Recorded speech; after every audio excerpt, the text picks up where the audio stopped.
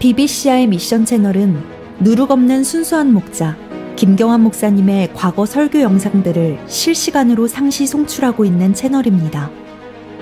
그 진리가 너희를 자유롭게 하리라. 한시라도 빨리 진리의 말씀으로 돌아오십시오.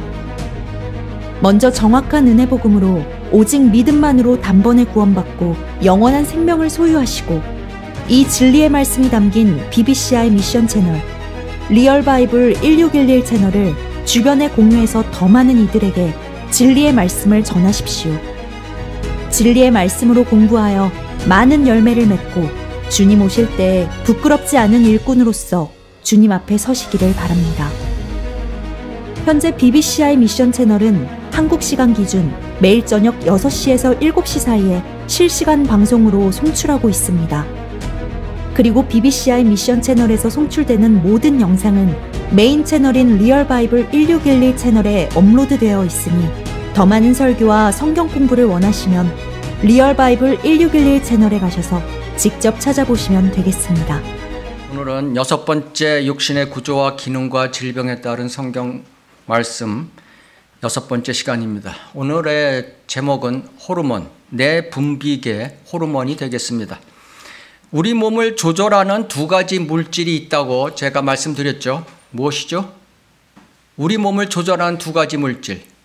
전번 시간에 바로 배운 신경 전달 물질, 신경계에서 신경 전달 물질이 있는 것이죠. 또 하나는 오늘 하는 호르몬인 것입니다. 내분비계의 호르몬.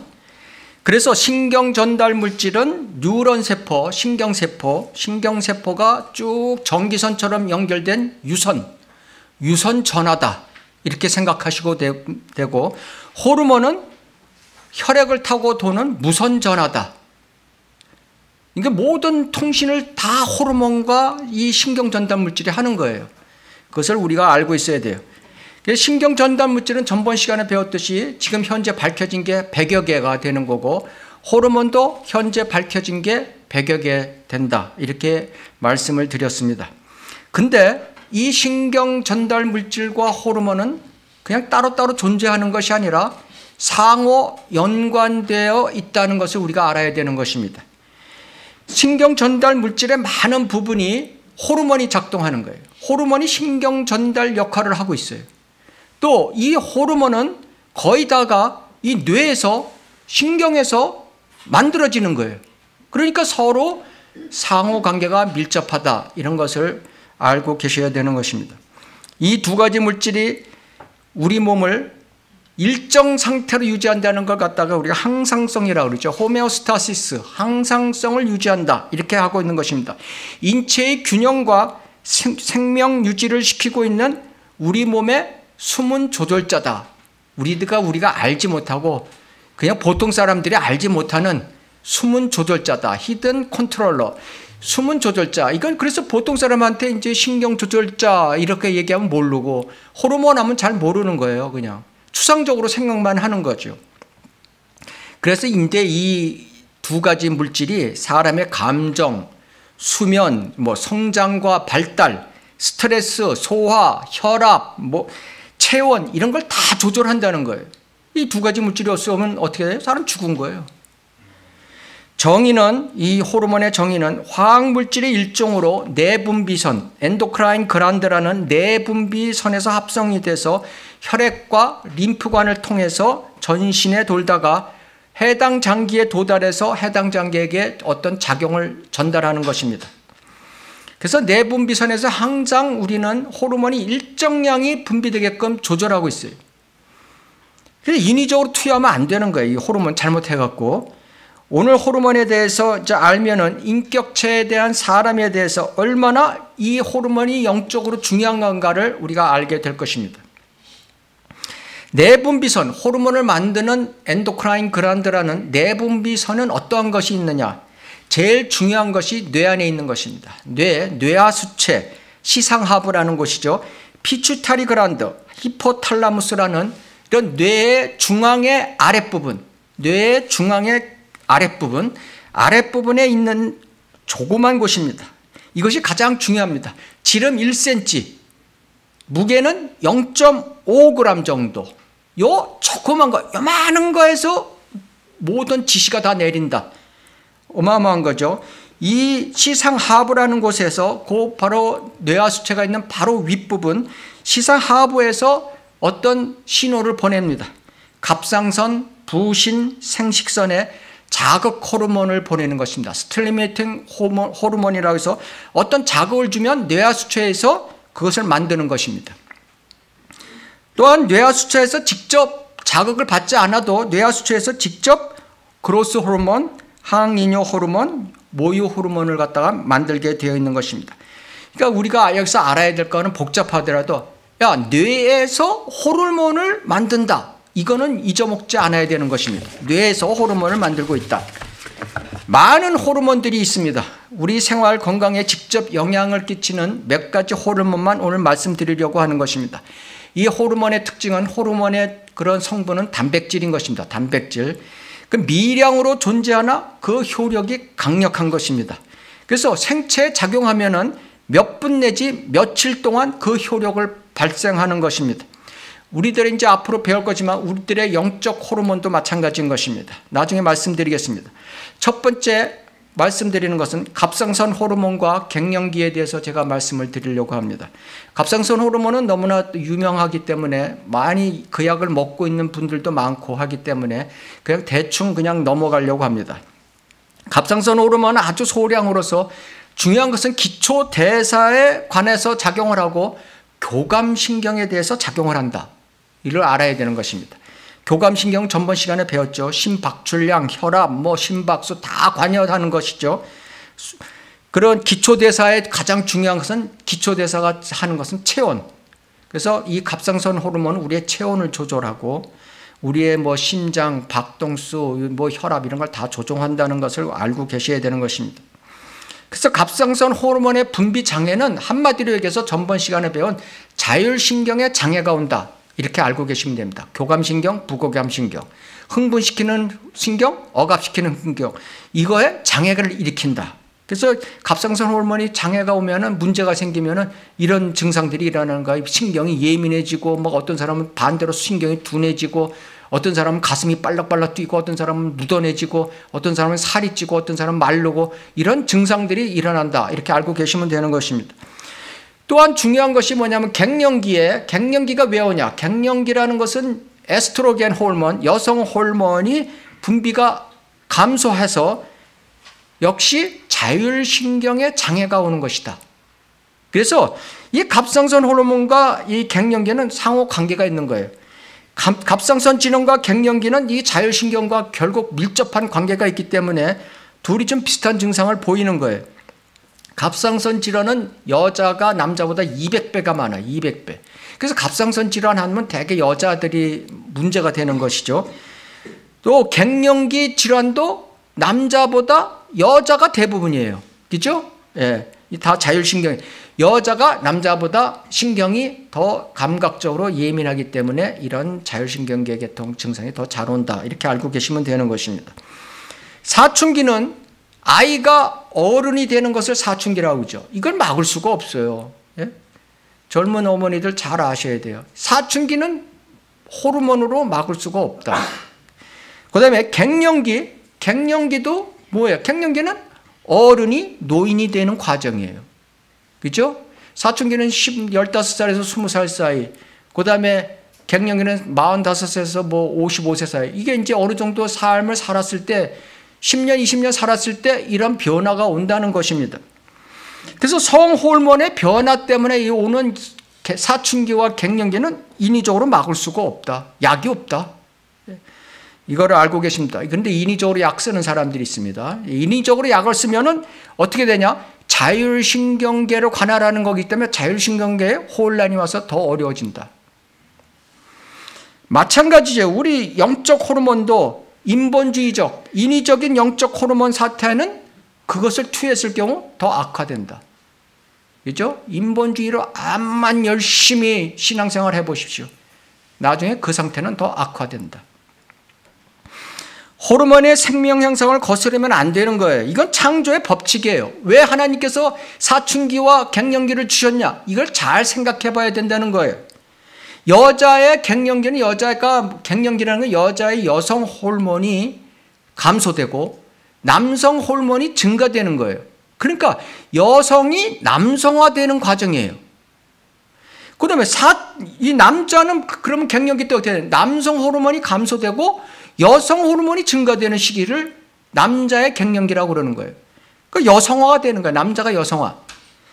그래서 갱년기가 지나면은 남성이 여자에게 쥐어 산다.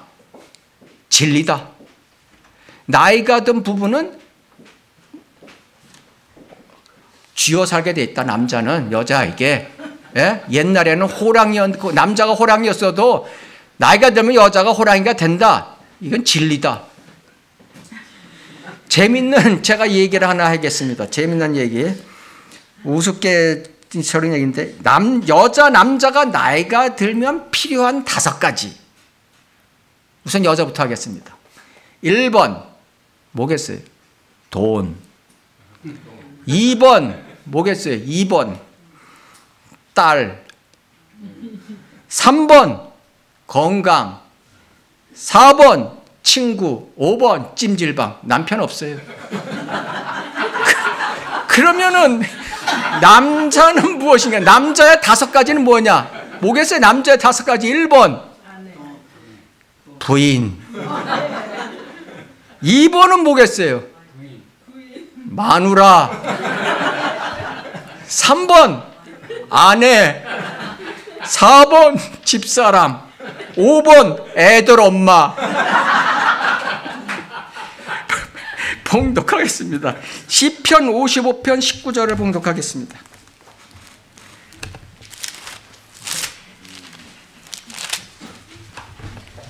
자, 이거 하나님께서 왜 우리에게 이런 사춘기 갱년기를 주셨냐를 우리가 알아야 되는 것입니다. 시편 55편 19절을 봉독하겠습니다. 하나님께서 들으시고 그들에게 고통을 주시리니 이는 예로부터 계신 분이라 셀라 그들에게는 변화가 없으므로 그들이 하나님을 두려워하지 아니하는도다. 교리적으로 보면은 대환란 때의 그런 교통 어, 고통을 얘기하는 거지만은 우리가 영적으로 보면은 사춘기 갱년기를 주신 이유가 여기 있다는 거예요. 몸의 변화의 고통은 하나님을 두려워하는 삶을 살라고 주시는 육신의 변화예요. 그러니까 고통 속에서 하나님을 찾으라. 우리가 15년, 20년이 지났을 때 인생이 이제는 하나님을 찾으라. 예? 사춘기 있는 애들. 45세에서 55세 되면 이제 살 만큼 살았으니까 네가 노인이 되니까 이제 하나님을 두려움으로 찾으라. 이런 경고의 메시지를 하나님께서 주신다는 것을 알아야 되는 것입니다. 두 번째 호르몬을 제가 말씀드리겠습니다. 세로토닌과 엔돌핀. 우선 엔돌핀에 대해서 말씀을 드리려고 하는 것입니다.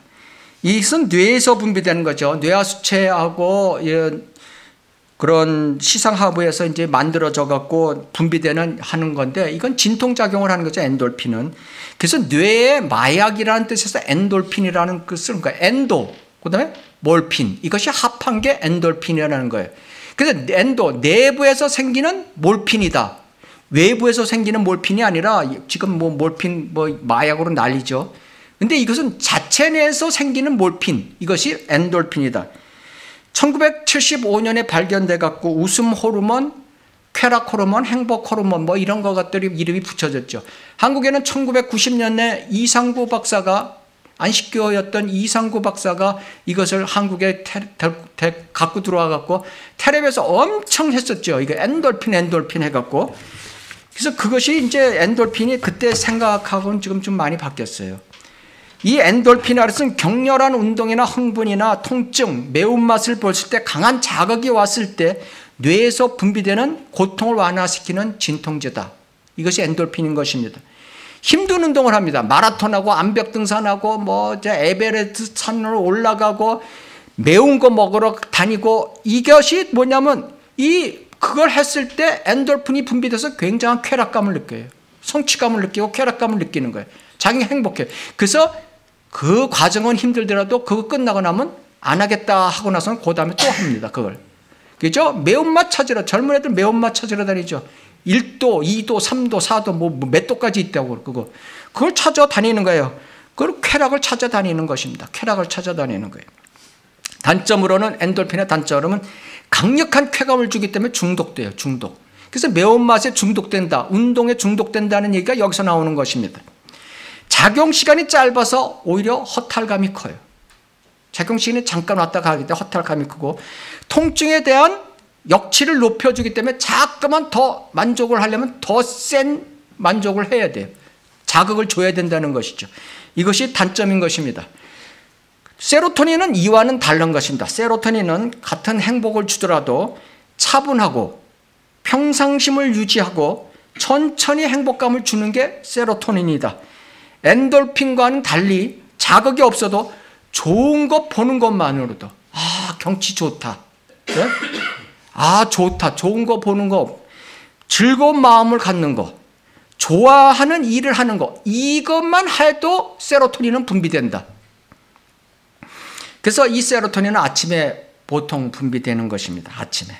그래서 우리가 성경을 보면은 시편 88편 13절을 보면 내가 주께 부르짖었으니 아침에 나의 기도가 주 앞에 상달되리다. 아침에 하나님의 말씀을 읽고 일어나자마자 기도할 때 이게 굉장히 세로토닌 분비가 많이 되는 거예요. 그 머리가 더 깨끗해지는 거예요. 그것을 우리가 알고 있어야 되는 것이죠.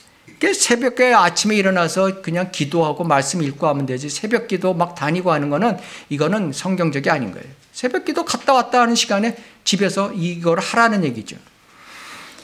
자율신경계는 이 세로토닌은 아침에 분비가 많이 되고 밤에 분비가 감소합니다. 그래서 자율신경계는 교감신경계과 부교감신경, 흥분과 억제를 잘 평행을 이루어야 된다고 전번 시간에 말씀드렸죠.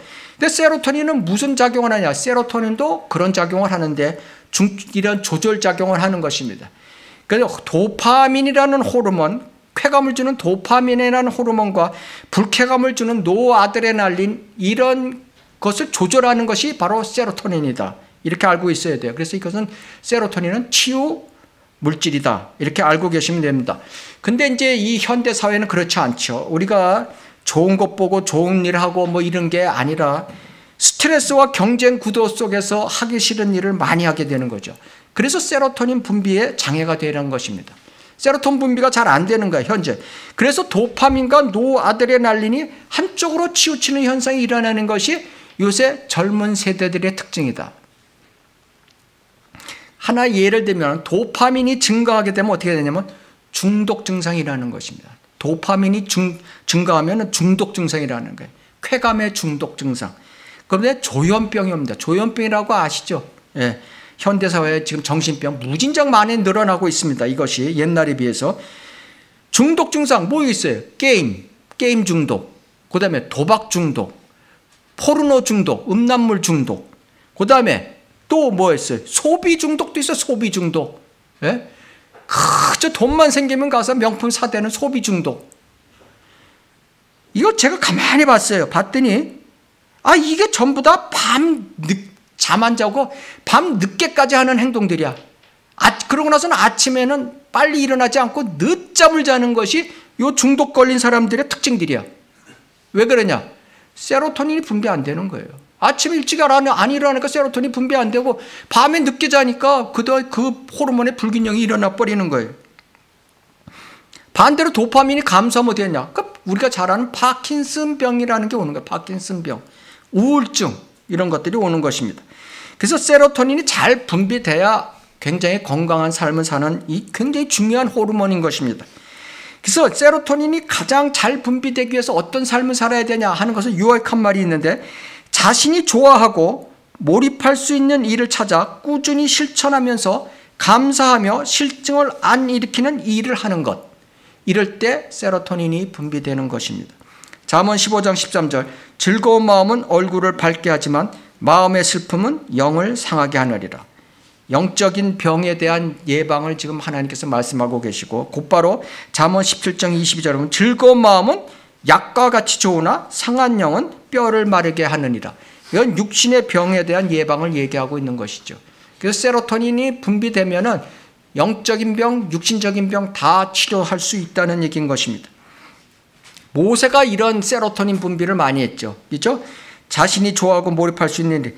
특히 이제 우리가 보면 요수아 14장 10절에 보면 칼렙, 칼렙이 이런 일을 한 거예요. 이런 세로토닌 분비를 많이 하게끔 자기가 좋아하는 일을 40세 때 출애굽해서 85세 45년 동안에도 지치지 않고 계속 사역을 하면서 그다음에 가나안 땅에 들어가서도 아 내가 저기 응? 이 일을 지금 군대 85세 된 사람이 군대에 앞장서 갖고 말이죠. 안악인들을 쫓아내고 하는 사역을 계속 하잖아요. 그것을 이제 우리가 배워야 된다는 것이죠. 우리는 항상 좋아하고 몰입할 수 있는 일이 해야 되는 것이 그것이 무엇인가? 그것이 세상적인 일이냐, 육신적인 일이냐? 그것은 다 한계가 있다. 이것을 우리가 알고 계셔야 되는 것입니다. 다음에는 옥시토신이라는 호르몬이 있습니다. 옥시토신. 뇌의 시상 하부에서 만들어져서 뇌하수체를 통해서 혈액으로 분비되는 거죠. 옥시토신은 아기 낳은 사람들은 많이 알고 있는 거예요. 출산 시에 자궁을 수축시키는 활동을 하기 때문에 아기가 진통을 오는데 애가 잘 안 나왔을 때는 산부인과 의사가 링겔에다 옥시토신을 타는 것입니다. 그러면 자궁이 확 수축이 되면서 애가 쫙 나오게 되어 있는 것이죠. 그 호, 작용이 주작용이고 그 다음에 출산 후에는 모유도 나오게 하고 아기와의 친밀감 이것을 유지하는 것이 옥시토신이 하는 일이다. 그럼 어른한테서 뭐가 이 옥시토신이 나오냐 이거예요. 예? 애날 때 말고 애 키울 때 말고 바로 스킨십, 스킨십과 눈 맞춤, 스킨십과 눈 맞춤을 할 때 옥시토신이 쫙 분비가 되는 거예요. 그래서 눈 맞춤, 이 스킨십과 눈 맞춤은 친밀감의 상징, 눈 맞춤이 친밀감의 상징이잖아요. 싹 눈 맞추는 게 친밀감의, 그러니까 보기 싫은 사람하고 어떻게 눈 맞추고 있어요? 그죠? 할 수가 없죠. 근데 자폐증 환자는 애들이 보면 눈을 못 맞춰요. 그죠? 이것은 옥시토신이 부족해서 오는 증상. 자폐증을 검 사해 보니까 자폐증 환자의 공통적인 증상이 옥시토신 호르몬 레벨이 낮더라. 예. 근데 이 옥시토신이 작용이 눈 맞춤에서 옥시토신이 생성되는데 자폐아는 눈 맞추지도 않는다. 그러니까 눈 맞춤과 옥시토신과는 관계가 있다. 자폐증과는 관계가 있다. 이것을 이제 밝혔습니다. 그래서 옥시토신을 이제 스프레이를 해서 코에다가 자폐증 환자에다 뿌려주면은 자폐증 증상가 좋아진다. 예, 이런 치료가 하고 있는 것입니다. 창조주 하나님의 신비스럽고 오묘한 사실을 하나 제가 말씀드리려고 합니다. 예, 다음 주에 제가 눈에 대해서 심장에 대해서 할 건데 정면에서 눈에 흰자위만 보이는 동물은 사람뿐이다. 예, 눈을 봤을 때 흰자위가 보이는 동물은 사람뿐이다. 개, 고양이, 뭐 원숭이, 오랑무탄 없어요. 이 사람은 이들은 동공과 흰자위의 구분이 없어요. 그래서 같은 색깔로 쭉 돼 있어요. 전체가 같은 색깔의 눈동자를 보이는 건 그 사람이 어딜 정확히 응시하는지 어떤 감정의 상태를 가졌는지 알 수가 없어요. 근데 동물은 그래야 또 먹이 사슬을 해서 사냥을 할 수 있는데 유리해요. 그죠? 예. 근데 사람은 흰자가 있어서 그 사람의 마음 상태를 읽을 수 있다. 흰자가 있어야만. 만화를 보면은 우리가 만화 어린이 그 캐릭터를 인형을 보면은 동물에도 흰자위가 있어요. 근데 그게 실제로 없는데 동물의 흰자위를 만들어 놨어. 왜 그랬냐? 그 장난감하고 애하고 친밀감을 갖게 하기 위해서 거기다 흰자위를 만들어 놓은 거다. 예. 제가 공부하다 보니까 저도 처음 알았어요. 예. 예, 이걸 이 굉장히 중요하다. 흰자위가 중요성이 아 그런 거가 또 있구나. 우리가 알아야 되는 것입니다. 시편 32편 8절에 보면은 내가 가야 할 길을 내가 네게 지시하고 가르치니 내가 너를 내 눈으로 인도하리라. 하나님께서 이렇게 말씀하십니다. 그리스도인은 주님의 눈을 바라봐야 됩니다. 눈은 마음을 얘기하는 것입니다. 눈의 창문은 마음의 창문은 눈이다. 그죠? 예. 그래서 주님의 마음을 바라보고 친밀감을 가져야 우리의 가야 할 길과 진리를 하나님께서는 가르쳐 주시는 것입니다. 다음 호르몬은 인슐린인 것입니다. 인슐린. 인슐린 잘 들으세요. 해당하는 분들 있잖아요. 인슐린. 췌장의 랑게한스 섬의 베타 세포에서 분비되는 이 호르몬은 이 인슐린이라는 게 우리가 잘못 알고 있는 게 인슐린하고 당뇨병하고만 관계가 있어요. 그게 아니에요. 인슐린은 주작용이 뭐냐면 에너지 호르몬이다. 에너지 호르몬이다. 인슐린이 있어야 우리의 에너지를 만드는 포도당을 만든다는 거예요. 인슐린이 하는 역할이 그거예요, 사실은. 이 세포를 먹여 살리는 데는 우리가 포도당이 필요하잖아요. 포도당. 탄수화물이 우리 몸을 사는데 아주 중요한 거예요. 탄수화물. 그래서 탄수화물은 꼭 먹어야 돼요. 근데 지나치게 먹으면 안 된다는 거죠. 그래서 이 인슐린이 꼭 필요해서 포도당을 유, 이제 유지하게 해야 되는데 스트레스가 있거나 현대 사회에 살면서 잘못된 식습관, 또 운동 부족, 비만 이런 걸로 인해서 에너지 대사가 제대로 안 되면은 어떻게 됐어요? 혈당이 높아지게 되는 것입니다. 혈당이 높아지면은 몸에서 혈당을 낮추려고 또 어떻게 되면 인슐린 분비가 나오는 것입니다. 그 인슐린 분비가 증가하면은 증가할수록 어떻게 돼? 인슐린에 대한 저항성이 생기는 거예요. 모든 게 그렇잖아요. 한 가지를 오래 쓰다 보면 그거가 효력이 무력화되는 거예요. 그래서 인슐린의 저항성. 요만큼으로 되는 걸 더, 그 다음에 요만큼 더 해야 되고. 그 인슐린의 저항성이 생긴다. 그것을 당뇨병이다. 제2의 당뇨병, 성인 당뇨라고 하는 것이다. 소아당뇨는 애당초 인슐린이 분비 안 되기 때문에 혈당이 높아지는 걸 소아당뇨, 제1형 당뇨라고 하는 것입니다. 다른 거죠, 이거랑. 그래서 고 인슐린 저항성이 생기면은 어떻게 되면 고, 그 인슐린으로 인해서 어떻게 되면 염증 유발인자가 증가하게 돼요. 그래서 모든 장기부에 염증이 생기게 되는 것입니다. 인슐린으로 인해서. 예. 그 다음에 혈당이 높아지면은 어떻게 돼요? 피가 끈적끈적해요.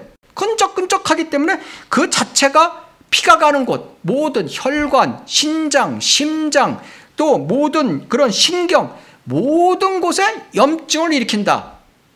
그러니까 이 당뇨는 한마디로 모든 병을 다 일으키는 만성의 원인이다. 만성병의 원인이다. 이렇게 알고 계셔야 되는 것입니다. 조절 잘 해야 돼요. 자, 예방과 치료를 제가 말씀드리겠습니다. 이건 굉장히 중요한 거죠. 제가 분명히 말씀, 매번 말씀하는 게 운동, 음식, 물, 스트레스. 그대로 관여되는 것입니다. 운동에서는 운동을 하게 되면 인슐린 저항성을 낮춰주는 것입니다. 당뇨 환자는 뭐예요? 인슐린 저항성이 높아졌다 그랬죠? 인슐린 저항성을 낮춰주는 거예요. 제일 나쁜 게 뭐냐면 내장 지방. 아, 저는 비만한 사람이 인슐린 뭐, 저, 뭐, 당뇨 온다 그러는데, 아, 저는 말라, 그거 없는데요. 저는 말랐는데요. 마른 사람이 당뇨 더 많습니다. 마른 사람이 내장 비만은 또 있어요. 내장 비만, 배만 볼록 나왔어. 그러면은 그건 당뇨에 걸린다. 제일 싫어하는 것이 내장 비만이다. 당뇨가. 그걸 우리가 알고 지방 섭취에 대해서 우리가 조심해야 되는 것입니다.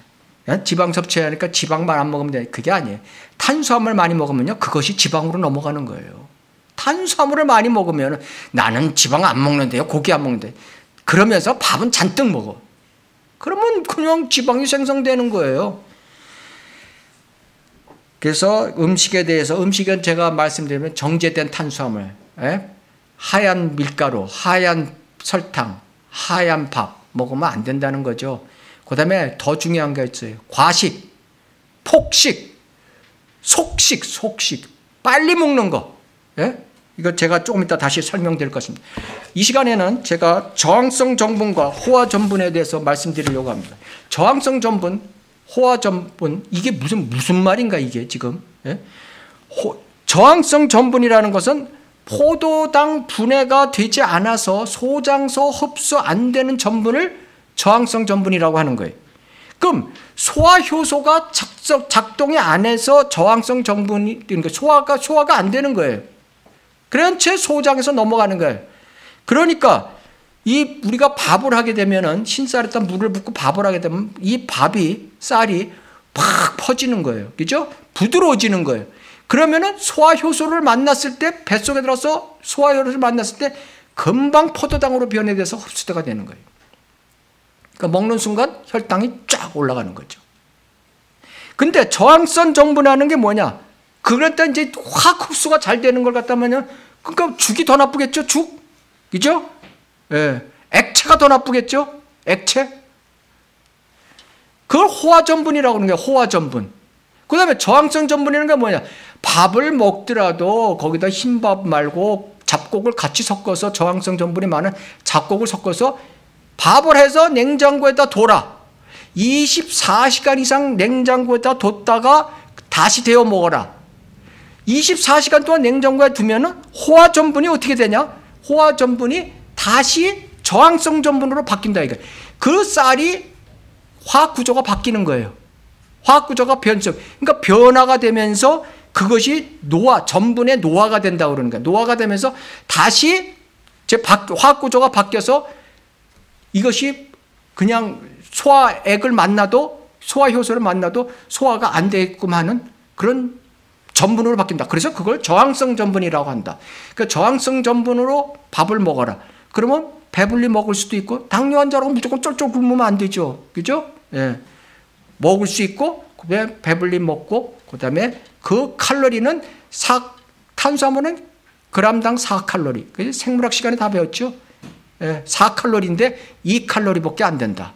저항성 전분으로 만다면 2칼로리밖에 안 된다. 그래서 저항성 전분은 당뇨 환자를 제외하고도 고지혈증 환자, 예? 스타틴 먹는 분들, 리피톨 먹는 분들, 이거, 이거 얼마든지 조절할 수 있어요. 고지혈증을 조절할 수 있다는 얘기예요. 탄수화물이 지방으로 변하는 거예요. 그러니까 탄수화물을 먹되 탄수화물이 반 정도가 효과가 없게 만들면 어떻게 되겠어요? 어, 지방으로 생성되는 것이 확 주는 거죠. 다, 그러면 4칼로리 먹는 거 2칼로리 먹는 거 어떻게 되겠어요? 다이어트. 예? 다이어트의 왕이다. 다이어트. 밥 먹으면서 다이어트 시키는 쫄쫄 굶지 말고 쫄쫄 굶으면요 호르몬의 그런 균형이 깨져버려 갖고 그 사람은 지금은 뭐 살 빼서 좋다 하지만 일찍 죽어요. 그 다음에 염증을 억제시켜준다. 염증 조절하는 세포가 증가된다. 이거를 우리가 알고 있어야 돼. 저항성 전분이 하는 역할이 그래요. 그래서 저항성 전분 하나만 갖고도 관상동맥이 막힌 분은 뚫어질 수가 있다. 음식 자체로만도 뚫어질 수가 있다. 이렇게 알고 계셔야 되는 거죠. 실험을 했어요, 실질적으로. 실험을 했더니 그 막힌 관상동맥이 넓어지더라 이거예요. 그죠? 제가 아는 분이 이거 한 분이 이게 있어서 며칠 전에 전화가 와서 이것을 잘 들으라고 지금 말씀드리는 것입니다. 마요카인, 마요카인 근육 호르몬에 대해서 말씀드리겠습니다. 마요, 마요는 근육이란 뜻이고 카인은 작동 물질이란 뜻이에요. 그래서 이 근육이 수축하면서 수축할 때 발생하는 호르몬, 운동을 했을 때 근육이 수축하면 어떻게 되냐? 250가지의 호르몬이 나온다. 제가 말씀드렸죠. 100가지는 지금 밝혀진 거고 지금 안 밝혀진 호르몬까지 하면 4천여 가지가 된다고 이렇게 추정한다고 얘기했죠. 근데 마이오카인 여기서 나오는 근육 호르몬이 255, 250가지를 좀 추정하고 있는 거예요. 이 250가지의 통칭한 걸 갖다 마이오카인이라고 해서 운동이 그만큼 중요한 거예요. 운동 하나 함으로써 250가지의 호르몬을 작동시키는 거예요.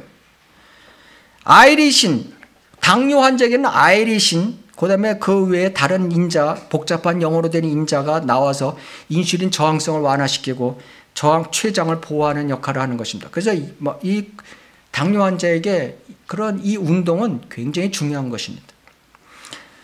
우리가 또 알아야 될 게 하나가 BDNF라는 뇌신경 생장 인자가 있어요. 뇌신경도 재생된다. 제가 이렇게 얘기 말씀드렸죠? 뇌신경도 재생된다.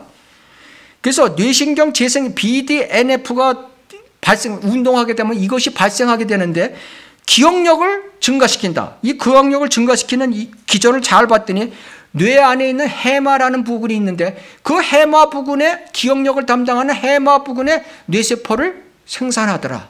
이렇게 나와 있어요. 그 다음에 수면의 질을 높인다. 멜라토닌, 세로토닌을 증가시킨다. 그래서 운동을 하면 잠을 잘 잔다. 운동하면 머리도 좋아지고 기억력도 좋아지고 잠도 잘 잔다. 뇌 혈류를 증가시켜요. 이 물질이. 그러면 운동하면 머리도 맑아진다. 예? 운동하면 머리가 맑아져요. 이런 것들을 우리가 잘 아셔야 됩니다. 그 다음에 여러분들이 잘 아는 멜라토닌 호르몬, 멜라토닌. 멜라토닌 잡순 분들 많아요. 멜라토닌 호르몬. 뇌의 송과선, pineal body라는 pineal gland라는 뇌의 송과선에서 뇌 안에 있어요. 합성돼서 밤에 혈액으로 분비되는 밤의 호르몬이라고 알려졌습니다. 밤의 호르몬. 그래서 세로토닌은 아침에 분비된다고 그랬죠. 이 멜라토닌은 밤에 분비되는 거예요. 그래서 생체 리듬을 조절해주는 생체 시계 역할을 하는 것이 바로 멜라토닌, 세로토닌, 이거, 이런 호르몬이 생체 시계 역할을 하는 것입니다. 밤에 잠을 잘 들게 하죠. 멜라토닌. 그래서 밤에 분비되는 이 멜라토닌이 나이 들면서 점점 점점 밤에 분비량이 줄어들어요. 그래서 80세가 되면은 밤의 생산량과 낮의 생산량이 같아져 버려요. 그러니까 어떻게 되겠어요? 나이가 들면 새벽잠이 없다. 진리죠. 그죠? 네. 왜 그렇게 되냐? 호르몬 때문에 그렇다. 멜라토닌 호르몬 때문에 그렇다. 이걸 알고 계셔야 되는 것입니다. 멜라토닌 호르몬은 이 트리토판이라는 아미노산에 많이 들어있어요. 이것은 체내 합성이 안 돼요. 그래서 인위적으로 우리가 섭취해야 되는 거예요. 어디에 많냐? 팔에 제일 많은 거. 바나나, 달걀 흰자, 견과류 이런 거에 많으니까 많이 드시기 바라는 것입니다. 멜라토닌이 적으면 불면증이 오고 많으면 또 우울증이 오는 것입니다. 그래서 이 야간 근무 여성, 뭐 스튜어디스라든가 야간 근무 여성, 간호사 이런 사람들한테서 유방암이 잘 온다. 예. 밤에 안 자고 일하는 직업. 그죠? 이 환자들의 호르몬 수치가 그래서 그 환자들을 갖다 유방암 환자들의 호르몬 수치를 멜라토닌을 재보니까 역시 평균보다 떨어져 있더라. 이렇게 나오는 것입니다. 멜라토닌은 수면 작용하는 게 천연 멜라토닌을 얘기하는 것입니다. 강력한 항산화 작용도 하는 것입니다. 그래서 혈관, 심장도 보합니다 하고 콩 먹듯이 주워 먹는 사람들이 있다. 이것은 잘못된 것이다. 예?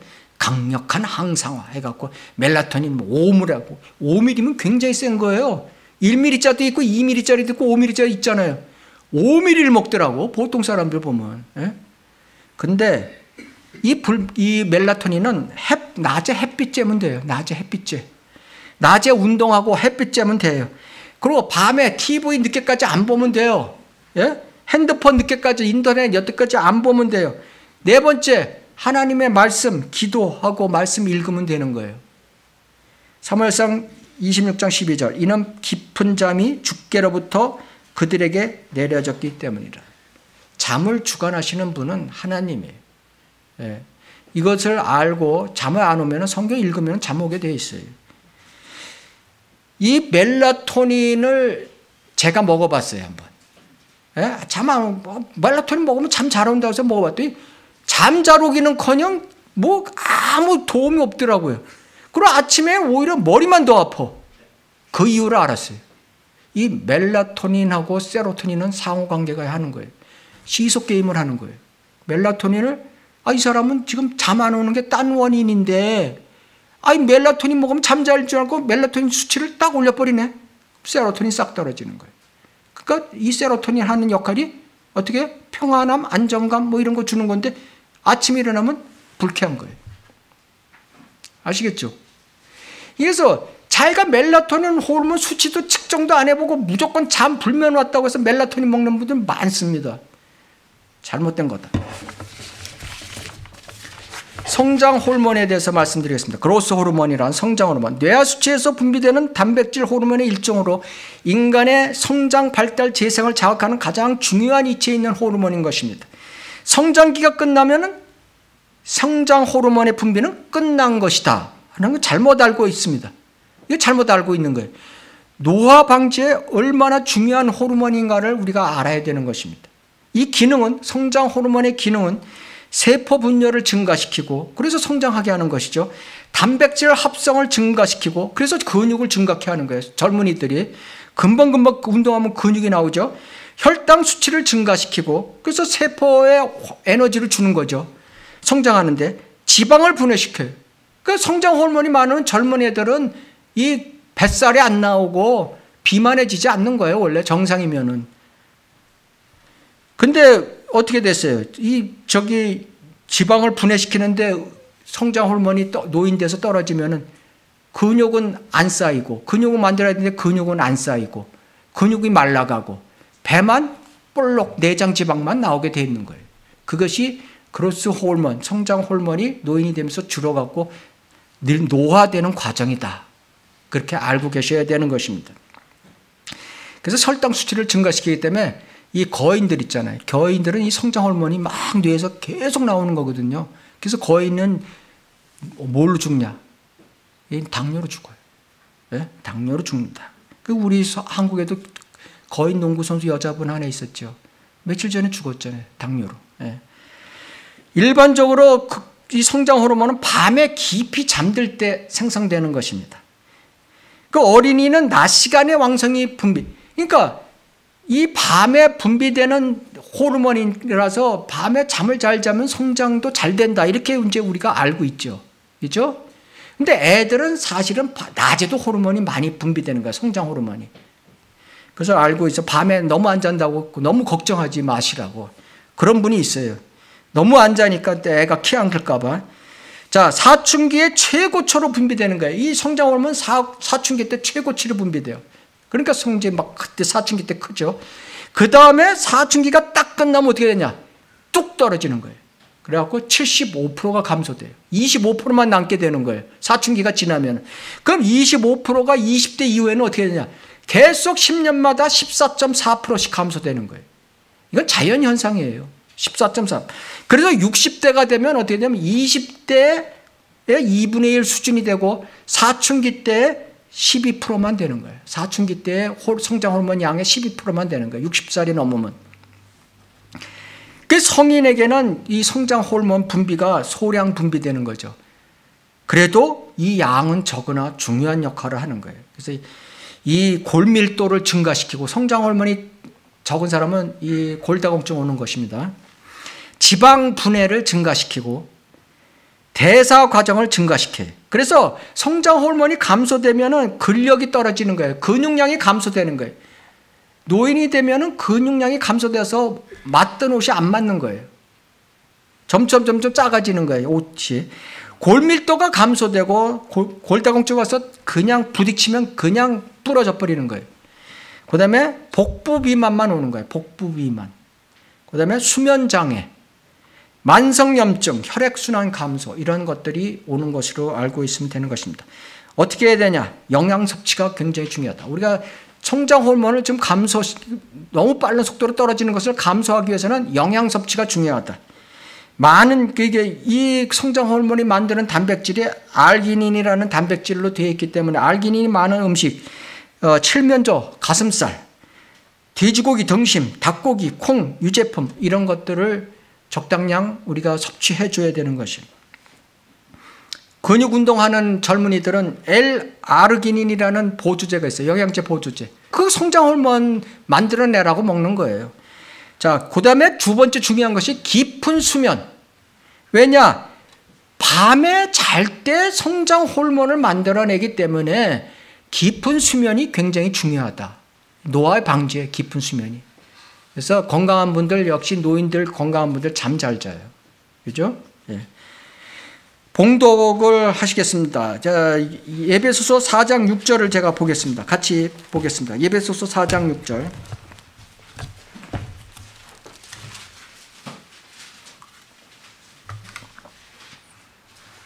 예배소 4장 6절 보면 그리스도로부터 온몸이 각 부분의 분량 안에서의 효과적인 역사를 따라 각 마디를 통하여 공급을 받아 알맞게 결합, 결합됐고 체격이 형성되어 몸을 성장시키며 사랑 안에서 몸, 저, 몸 자체를 세워 나가니라. 육체의 성장 호르몬이 있듯이 영적인 성장 호르몬도 있어요. 우리는 말씀에 따른 사랑과 믿음의 호르몬으로 우리 영적 몸을 세워 나가야 되는 것입니다. 좀 이따 다시 말씀드리겠습니다. 그 다음에 이제 우리가 환경 호르몬이라는 게 있죠. 환경 호르몬. 이거는 우리가 정상적으로 몸에서 만들어지는 것이 아니라 외부에서 산업 활동으로 인해서 생성 분비되는 화학 물질을 얘기하는 거예요. 그래서 생체에 우리의 몸에 흡수되게 되면 가짜 호르몬으로 작용하는 거예요. 가짜 호르몬. 그래서 내분비 기능을 가짜 호르몬으로 작용해서 내분비 기능을 교란시키고 방해시켜 버리는 거예요. 몸에 지대한 영향을 주는 거예요. 즉 생, 주로 이제 생식기 장애를 일으키고 이외 신경계 장애, 면역계 장애를 일으키는데 이 환경 호르몬은 800여 가지가 있다. 그래서 우리가 이 가짜 호르몬, 영적 가짜 호르몬도 우리가 많죠. 영적 가짜 호르몬. 그죠? 세상에서 나오는 호르몬. 세상에서 유통되는 호르몬, 가짜 영적 호르몬. 자유신학주의, 예? 은사주의, 신학, 뭐 영성훈련, 뭐 거짓 성경, 거짓 교리, 이게 다 가짜 환경 호르몬이에요. 환경, 가짜 영적 호르몬이라는 거예요. 이거에 되면은 어떻게 돼요? 영적 성장은 커녕 방해되고 영적 성장이 교란되고 피폐하게 된다. 이걸 알고 계셔야 되는 것입니다. 이 중에서 흔히 이제 환경 호르몬 중에서 우리가 노출되기 쉬운 거 다섯 가지만 제가 말, 골라서 말씀드립니다. phthalate, 플라스틱 첨가제에 들어있는 phthalate. 플라스틱 만드는데 플라스틱을 유연하게 녹이고 만들기 물체를 만들기 위해서는 이 가소제가 이 첨가제가 다 들어가는 거예요. 그것이 phthalate다. 그래서 장난감이 많아요. 애들 장난감에. 그죠? 그래서 영유아를 갖다가 이 phthalate 검사를 했더니 영유아가 어른보다 2.5배가 높더라 이거예요. 왜 그렇겠어요? 애들한테 사용하는 장난감에서 나오는 거예요. 각종 세제, 방, 방향제, nail polish, 헤어 스프레이 등 이런 것에 많이 들어있는 것입니다. 이 phthalate가 작동하게 되면 생식 능력이 저하되고 ADHD, 주의력 결핍증, 과잉 행동 장애라는 게 있죠. ADHD 이것도 지금 점점 환경 호르몬이 많아지면서 이것도 많아져요, 지금. 옛날에 비해서 면역 저하, 뇌신경 신경 장애 이런 것들이 일으킵니다. 두 번째로 비스페놀 A. 비스페놀 A가 제일 많은 게 어때요? 영수증. 예? 대기표. 맛집 가면 대기표 쫙 뽑죠. 그죠? 이것을 저기 알코올 코로나 때문에 알코올 싹 바르고 탁 뽑아요. 그러면 100배 흡수가 더 잘 된다. 네, 그걸 알고 계셔야 되는 것입니다. 이 푸탈 비스페놀 A가 들어있는 것이 먹는 거로는 통조림. 통조림 안에 내부 코팅제가 이 비스페놀 A가 들어가야 돼요. 그래서 통조림을 먹지 웬만하면 먹지 말라. 먹어야 되는 경우에는 통조림에 있는 내용물을 씻어라. 네? 생선 같은 거, 꽁치, 고등어 이런 거 씻고 요리를 해라 이거죠. 비스페놀 A는 성호르몬과 유사한 것입니다. 그래서 성기능 장애, 전립선암, 자궁암, 유방암, 성조숙증 등을 일으키는 것입니다. 그 다음에 새집 증후군이라고 해서 접착제, 뭐 카페트, 페인트에 많은 톨루엔, 예. 그 다음에 쓰레기 소각할 때 나온 다이옥신, 그 다음에 화장품, 치약, 의약품에 들어있는 미생물 증식. 그러니까 어떤 화장품이라든가 이런 거 들어가면 거기 미생물이 증식하게 되잖아요. 곰팡이라 이런 게. 그러니까 하지 못하게 거기 들어있는 것이 바로 파라벤이라는 거예요. 파라벤. 자, 이건 환경 호르몬의 노출에 대한 예방은 우리가 손을 자주 씻으면 되는 거예요. 손 자주. 우선 손으로 많이 오는 거기 때문에 접착해서 오는 거기 때문에 손을 자주 씻고 집 환기, 집 환기 자주 해라. 산소를 위해서도 자주 하고 특히 청소할 때는 열어놓고 해라. 환기 열어놓고 해라. 문 꼭 닫고 청소기 돌리는 분들이 있어요. 그거 다 마시는 거예요. 예? 환경 호르몬. 그 다음에 땀나는 운동 많이 하고 물 많이 마셔라. 특히 주방에서 사용하는 플라스틱 용품, 주걱, 국자, 수저 이런 거 되도록 쓰지 말라. 알루미늄 호일에 가열하지 말라. 알루미늄을 딱 깔아놓고 거기다 고기 구워 삼겹살 딱 구워서 먹자 맛있다고. 그죠? 하지 말라. 그 다음에 랩 사용할 때 뜨거운 음식에다 랩을 탁 씌워놔버려. 그거 하지 말라. 그 다음에 컵라면, 사발면 이런 거 먹지 말라. 흠집난 프라이팬 버려라. 전자레인지 사용 시에는 반드시 인정된 전자레인지 그릇만 사용해라.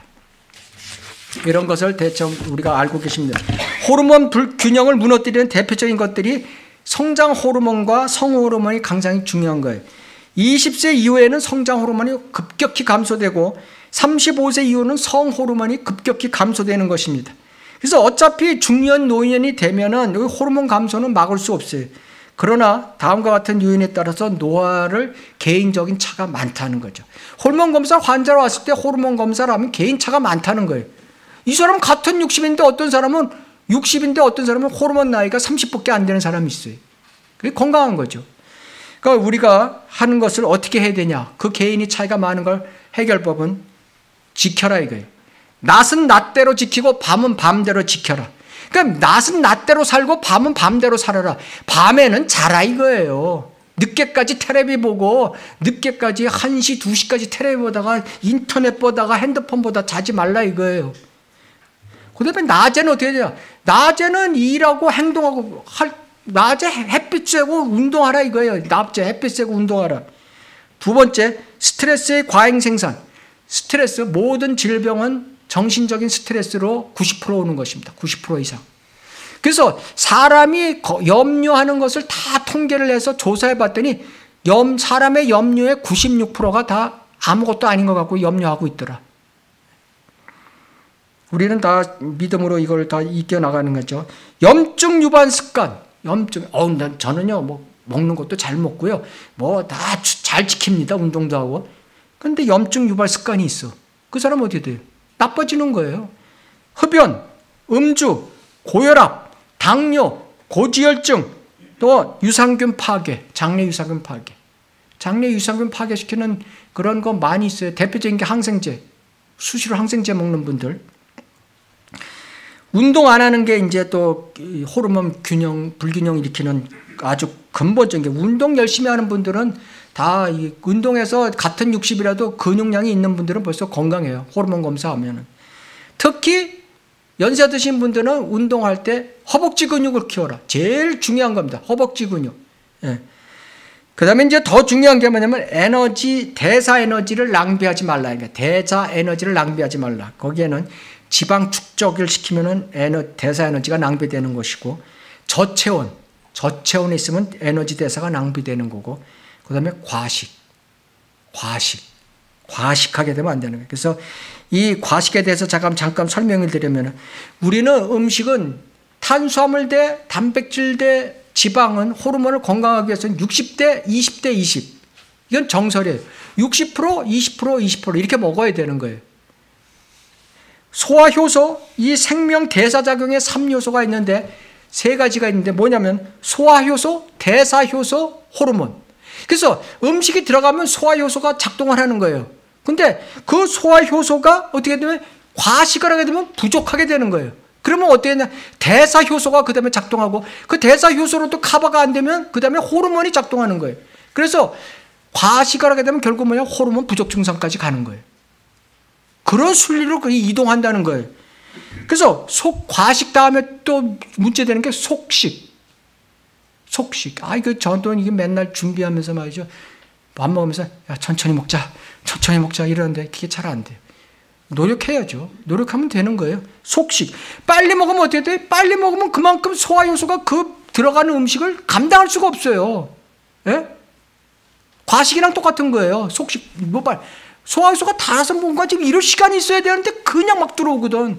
안 되는 속식. 소화효소가 전혀 없는, 먹을 때 한국 음식이 좋다는 게 소화효소가 많이 들었잖아요. 한국 음식에 김치, 뭐 이런 것들 다 소화효소가 들어있잖아요. 그래서 한국 음식이 슈퍼푸드라는 거예요. 지금. 된장, 뭐 이런 것들. 근데 소화효소가 전혀 없는 가공식품만 먹어. 가공식품. 그냥 사다가 그냥 데워서 쫙 먹는 것들 있잖아요. 많잖아요. 가공식품. 그러면 소화효소가 작동이 안 된다. 예. 사효소가 없는 격이 되는 똑같은 거예요. 그러면 호르몬이 작동하게 돼 있는 거예요. 또 그거를. 그 다음에 지나친 다이어트. 예. 다이어트가 좋은 줄 알고 뭐 하루에 아침에 한 끼 먹는 분. 예. 그거 안 좋은 거예요. 그거 좋은 것 같지만 나중에 오랫동안 지나고 나면은 그 문제점이 있는 거예요. 제가 스타틴, 리피돌 얘기할 때 말씀 드리잖아요. 리피돌이 우리 몸의 세포의 백족의 세포를 만들어지는 그게 공급 원료인데 리피토를 갖다가 콜레스테롤을 확 떨어뜨려 버리면 어떻게 되겠어요? 그러면 그 사람 처음에는 콜레스테롤 떨어졌다고 좋다고 랄랄랄랄라 하고 그냥 행복하게 지내다가 죽는 건 더 빨리 죽어. 예. 그게 다 요새 다 나오잖아요. 논문에. 리피톨이 생성된 지 몇십 년이 지나니까 이제 그게 나오는 거예요. 레포트들이. 적당히 해야 돼요. 예.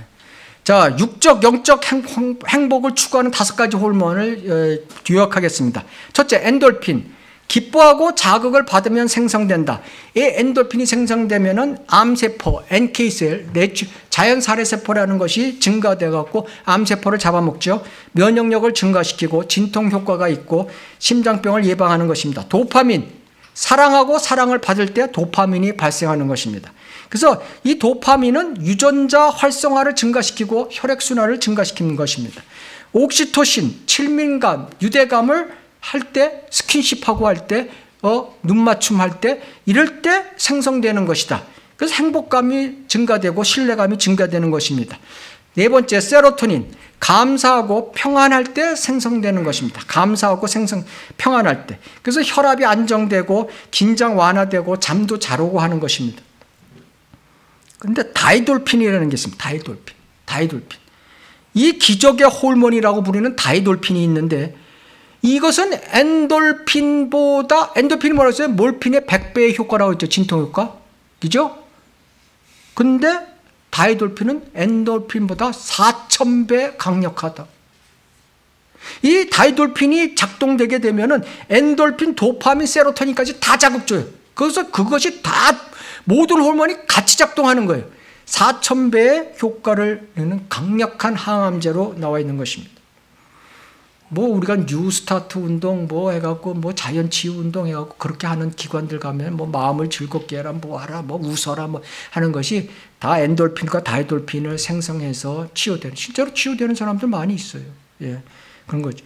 근데 다이돌핀에서 이게 하는 것이 언제 제일 많이 생성돼? 감동받을 때. 감동도 무슨 감동? 특히 새로운 진리를 깨달았을 때 다이돌핀이 제일 많이 생성된다. 이거 뭐 엄청 우리한테 감사한 거죠. 예? 이런 영적으로 이런 다섯 가지 작용을 하는 영적 호르몬이 어디에 있느냐? 데살로니가 전서 5장 16절을 보시겠습니다. 거기에 나와 있습니다. 데살로니가 전서 5장 16절에서 20절을 제가 봉독하겠습니다. 16절 항상 기뻐하라. 기뻐하면 어떻게 됐어요? 엔돌핀 나오죠. 17절 쉬지 말고 기도하라. 기도하면 주님과의 친밀감과 유대감이 높아지는 거예요. 대화 아니에요, 대화. 그죠? 주님과 대화하면은 옥시토신 분비가 나오는 거예요. 그 다음에 모든 일에 감사하라. 이게 세로토닌 분비가 나오는 거예요. 그죠? 이것은 그리스도 예수 안에서 너희에 관한 하나님의 뜻이니라. 뜻, 하나님의 직접적인 뜻이다. 기쁨, 감사, 기도, 감사는 하나님의 직접적인 직접적으로 주시는 호르몬이다. 이걸 아셔야 되는 것이죠. 그 다음 19절 성령을 소멸하지 말라. 20절 예언을 멸시하지 말라. 성령을 소멸하지 말라. 우리는 인격체로 다가온 성령이 성령으로 구원받은 사람은 성령이 내주해 갖고 절대 떠나지 않는 거야. 여기서 소멸하지 말라는 건 우리가 인격체로 들어온 성령을 인격체로 거부하는 거를 얘기하는 거예요. 거부하지 말라 이거예요. 그래서 거부하지 말고 성령 충만하라 이런 뜻이죠. 그 다음에 예언을 멸시하지 마라. 하나님의 말씀을 소중히 여겨라. 이런 뜻인 것이죠. 그래서 이렇게 19절, 20절 성령을 소멸하지 않고 예언을 멸시치 않으면 이런 삶을 살면 말씀을 읽을 때, 공부할 때, 설교 들을 때 진리에 대해서 감동이 넘쳐나게 된다는 것이죠. 그래서 다이돌핀이 분비돼 갖고 결국은 엔돌핀, 도파민, 세로토닌이 다 분비돼 갖고 기쁨과 사랑과 감사가 행복과 평안이 넘치는 믿음 생활이 된다는 것입니다. 그 육체적 건강도 우리가 챙길 수 있다는 거죠. 결론을 말씀드리겠습니다. 결론은 우리 몸을 조절하는 조절자 두 가지 호르몬과 신경 전달 물질인 것입니다. 이 호르몬은 뇌에서 분비되는 것입니다. 그래서 신경하고 밀접한 관계를 갖고 있는 것이고 또 신경 전달 물질은 그 많은 부분이 호르몬인 것입니다. 그래서 두 개는 서로 뛸래야 뛸 수 없는 상관관계다. 그래서 육체의 항상성, homeostasis를 항상 유지하는 것인데 영적 삶에도 이런 것이 있다. 영적으로 우리가 영적 호르몬 이 두 가지가 뗄래야 뗄 수 없는 두 가지가 무엇이냐? 바로 자비와 진리이다. mercy와 truth. 자비는 성경에 333회가 나오는 것이고 이 진리는 177회가 나오는 것입니다. 그래서 항상 보면은 자비가 진리보다 앞서 있다. 그죠? 진리에 앞서 자비가 있다. 예배소서 2장 4절에 따르면 우리는 진노의 자녀였는데 하나님의 자비로 구원을 받아서 진리를 알게 됐다. 이렇게 표현하고 있는 것입니다. 시편 61편 7절 그가 하나님 앞에 영원히 거하리니 자비와 진리를 예비하시어 그를 보호하며 하나님께서 우리를 영적으로 호르몬을 준 것이 자비와 진리를 줬어요. 그런데 자비가 먼저죠. 그래서 우리를 보호하고 계신 거예요. 잠언 3장 3절 자비와 진리가 너에게서 떠나지 않도록 그것들을 내 목에 걸면 내 마음판에 새기라. 내 너희들에게 그걸 보호하는 걸 자비와 진리를 줬으니까 너는 그것을 마음판에 새기고 있어라. 그러면 어떻게 되냐? 잠언 16장 6절. 죄악은 자비와 진리로 정결케 되나니 사람들이 주를 두려워함으로 악에서 떠나게 되니라. 우리가 거룩하고 성결케 된다는 것입니다. 자비와 진리가. 자, 자비라는 것은 남을 깊이 사랑하고 가엽게 여기는 것. 그렇게 또 여기서 베푸는 혜택을 자비라고 하는 것입니다. 하나님께서 우리를 사랑하고 가엽게 여기서 주시는 자비는 믿음과 사랑인 것입니다. 이 자비 안에는 믿음과 사랑이 자비다. 이게 성경의 말씀인 것입니다. 하나님께서는 그리스도인에게 믿음과 사랑을 주셨습니다. 솔로몬의 노래 아가서라는 거죠. 개혁 성경에는 솔로몬의 노래 4장 5절을 표시겠습니다. 솔로몬의 노래 4장 5절을 펴시면은 좀 시간이 지나서도 제가 말씀드리려 합니다. 내 두 가슴은 백합꽃들 가운데서 꿀을 먹는 어린 두 마리 쌍둥이 노루 같구나. 너 그리스도인의 두 가슴은 이렇게 말씀하시는 거죠. 쌍둥이 노루 같구나. 그래서 여기서 가슴이 뭐냐? 이 가슴이 바로 믿음과 사랑인 것입니다. 믿음과 사랑은 뗄 수 없어요. 이 세상 주석서에 보면은 말씀이라고 나오는 것입니다. 여기서 내 두 가슴을 말씀이라고 나오는데 말씀이 잘못된 거예요. 말씀은 아니죠. 말씀은 성장 어린 노루는 여기서 네가 어린 두 마리 쌍둥이 노루 같구나. 근데 말씀이라고 그러면 어린 노루는 성장해야 하는데 성, 말씀이 성장한다는 표현은 잘못된 거죠. 말씀은 진리인데 뭘 성장해요? 여기서 믿음과 사랑이 성장하는 것을 얘기하는 것입니다. 믿음과 사랑은 두 가슴이기 때문에 절대 뛸 수가 없는 것입니다. 디모데후서 1장 13절 너는 그리스도 예수 안에 있는 믿음과 사랑 안에서 내게 들은 건전한 말씀의 본을 굳게 붙잡고 믿음과 사랑 안에서 우리는 성장해 나가며 말씀 즉 진리를 붙잡고 나가야 한다는 뜻인 것입니다. 결론적으로 육신의 호르몬은 호르몬의 항상성은 영적으로 자비 즉 믿음과 사랑의 항상성으로 연결되는 것입니다. 빌레몬서 1장 5절 7절을 읽고 마치겠습니다. 빌레몬서 1장 5절 7절